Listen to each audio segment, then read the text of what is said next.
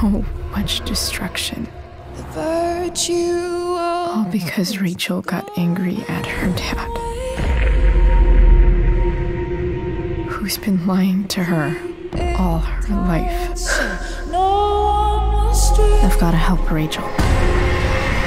Whatever it takes. Holy shit. This one is the fucking DA's daughter. Hello?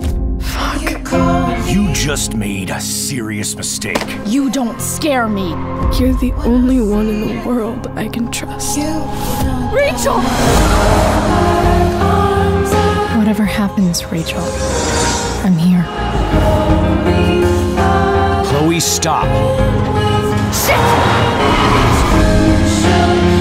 Rachel won't let anything stop her. Chloe, go! My entire life is all lies. You can handle this. Not without you.